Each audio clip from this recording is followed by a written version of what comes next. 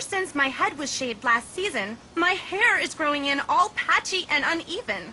I have tried everything. Lotions, lasers, traditional Burmese medicine. Oh, loser shaman! It's about time someone realized who's the most valuable player here. I mean, seriously, people. I am hereby forming Local 1 of United Workers Against Chris. Who's with me? Everybody? As annoying as hanging around Harold would be, he'll make an easy to persuade alliance member. And right now, Milady needs all the help she can get. Prima ballerine, no. My vote plus Leshawna and Harold's equals the greatest day of my life. Bye bye, Gwenny. I could have forced them to stay, but it's not like they'll help us win. I mean, in medical terms, please. Those two will only come in handy if the challenge is about piercings or plus size shopping. As in me. Duh. That's what they call a prize? Right. All we need after today is a disaster-themed vacay.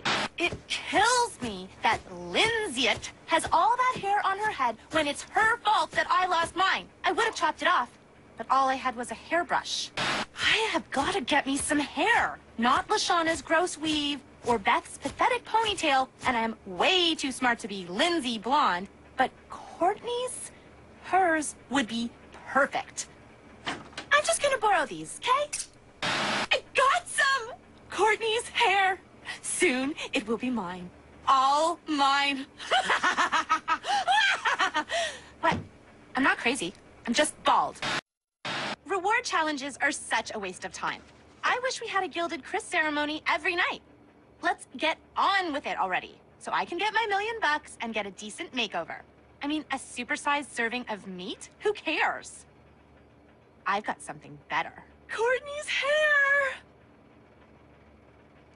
No, you can't have it! It's mine! Well, okay, it was Courtney's, but I took it, which makes it mine! Ah, it won't come off.